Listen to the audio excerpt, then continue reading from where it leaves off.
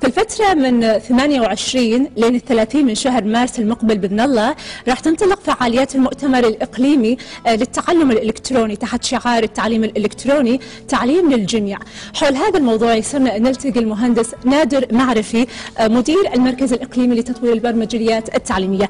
أنا سعيدة بوجودك معنا مهندس نادر وأيضا نتحفنا أكثر حول هذا الموضوع اللي بصراحة شدني من خلال الشعار اللي اخترتوه التعليم الإلكتروني اللي بات يعني يشغل الكثير أنا ما عاد يعني أف... يعني أستوعب إنه ممكن يكون في قلم وورقة وكتابة وامتحانات كذي كلها صار إلكترون وكله by click وكل الشغل صار إلكتروني نعم. يعني ما في ما عاد في صعوبة لل... للدراسة والتعليم صح كذي؟ إن شاء الله طبعا أول شيء يسعد مساكم وصراحة يشرفني إن أحضر وياكم اليوم بهذه المناسبة السعيدة وفي فترة آه، احتفاليات آه، دولة الكويت بمناسبة آه، عيد الوطني الخمسين وعيد التحرير وكذلك عيد اللي كلنا يعني مرتاحين ومستانسين فيه وجود أميرنا المفدى الشيخ صباح الأحمد الصباح على رأس مقاليد الحكم في دولة الكويت الحبيبة.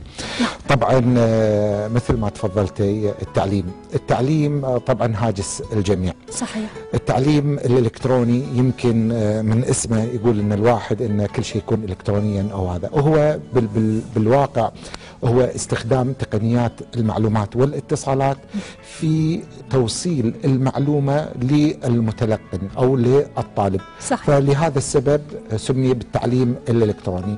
في تعريف آخر له إن محتوى الدراسي أو محتوى الكتب كلها هذه تصير الكترونيا وممكن إن الطالب يتلقنها الكترونيا باستخدام وسائط ووسائل آه، الاتصالات صحيح. الحديثة والكمبيوترات. صحيح. يمكن أنا بسألك مهندس نادر بخصوص المركز الإقليمي لتطوير البرمجيات. التعليم نأخذ لمحة سريعة جدا حوله إن شاء الله. المركز الإقليمي لتطوير البرمجيات التعليمية أنشئ بمبادرة من الصندوق العربي للإنماء الاقتصادي وبرنامج الأمم المتحدة آه، الإنمائي آه، سنة 1989 آه، بموجب اتفاقية بين حكومة دولة الكويت وحكومة جمهورية مصر العربية. وهذه الاتفاقية وقعت في نيويورك لإنشاء مركزين متضامنين المركزين واحد فيهم في مصر والمركز الثاني في الكويت. المركز اللي مصر كان اسمه أو ما زال اسمه RITSEC هو لادخال تقنية المعلومات والاتصالات في المنطقة العربية والمركز اللي بالكويت اللي هو ريد سوفت اللي هو لتطوير البرمجيات التعليمية للمنطقة العربية كذلك. ككل. طيب آه، يعني بعد هذه الفكرة الشاملة حول هذا المركز أنا الحين بدخل في سياق موضوع المؤتمر آه، الإقليمي، نتكلم عن هذا المؤتمر وآلية الأعداد للمهندس نادر. طبعا هذا المؤتمر هو المؤتمر آه، فريد وجديد على انعقاده في دولة الكويت يعتبر المؤتمر الإقليمي الأول اللي يقام إن شاء الله في دولة الكويت في الفترة من 28 إلى 30 مارس 2011 برعاية سامية من سيدي حضرة صاحب السمو أمير البلاد المفدى الشيخ صباح الأحمد الجابر الصباح. وينظم هذا المؤتمر جهات عديدة منها الريد سوفت مركز الاقليمي لتطوير البرمجيات التعليمية آه، وزارة التربية والتعليم دولة الكويت مؤسسة الكويت للتقدم العلمي ومعهد الكويت للأبحاث العلمية وما ننسى بتعاون فعال وكبير من جائزة سمو الشيخ سالم العلي الصباح المعلوماتيه كذلك آه، الصندوق العربي للإنماء الاقتصادي والاجتماعي آه، يرعى هذا المؤتمر. إضافة إلى الصندوق الوقفي الأمان العامة للأوقاف. أيضا البنك الإسلامي للتنمية وإضافة إلى شركات متعددة منها شركة إبلة ومؤسسة البترول الكويتية وشركة الديار المتحدة. إن شاء الله ما تكون نسيت ما شاء الله يعني مؤسسات رائدة ولها وضعها في الدولة مشاركة في هذا المؤتمر.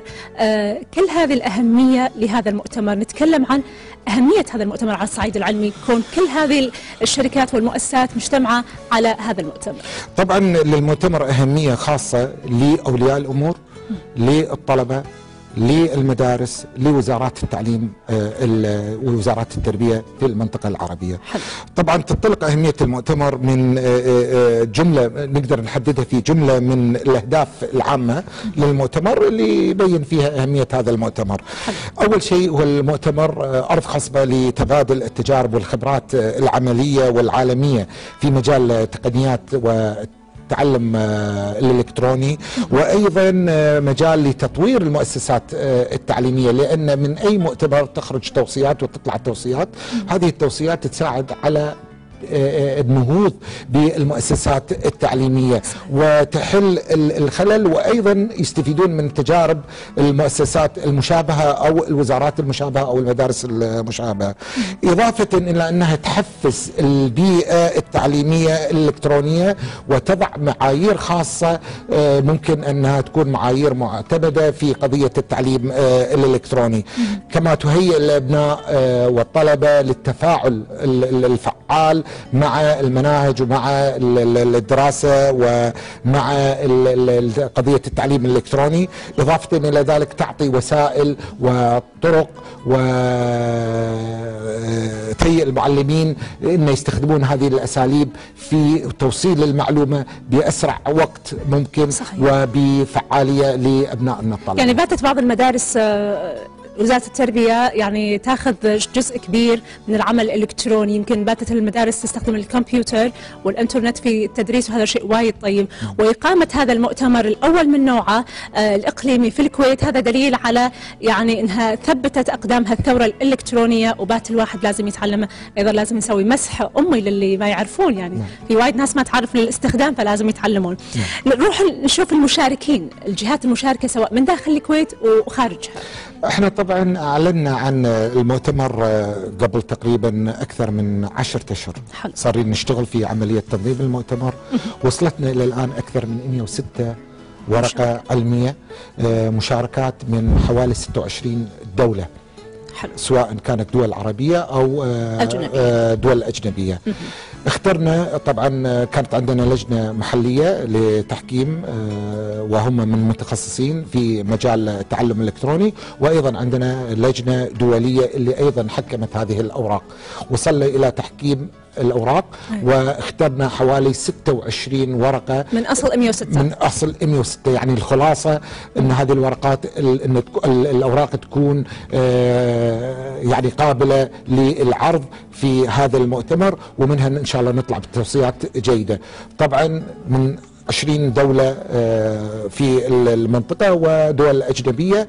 إضافة إلى ذلك راح تكون على هامش المؤتمر راح يكون هناك أربع ورش علمية آه، د- دراسية آه، على تطبيقية. فترة تطبيقية على فت... على على فترة يوم واحد لمدة ساعتين كل ورشة وثلاث ورش منهم باللغة العربية وورشة باللغة الإنجليزية. الإنجليزية. شيء وايد حلو وشيء وايد رائع وإن شاء الله يا رب التوصيات تطبق على أرض الواقع. أنا بعرف اخترتوا شعار آه، التعليم الإلكتروني تعليم للجميع. إيش معنى هذا الشعار؟ الشعار إن هذا التعليم مو ليس مو فقط للطالب. للطالب